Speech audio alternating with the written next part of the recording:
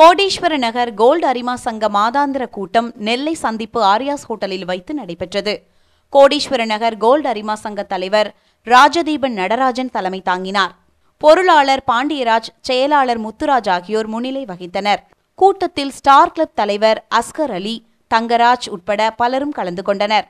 தொடர்ந்து ஏழை பெண்களுக்கு தையல் இயந்திரம் வழங்கப்பட்டது. கூட்டத்தில் lion Sheikh lion national Ismail Kazi Ganesan Kodeeswaran அல்லாபக்ஸ் Sivakumar Balasubramanian Senthil உட்பட பலரும் கலந்து கொண்டனர்.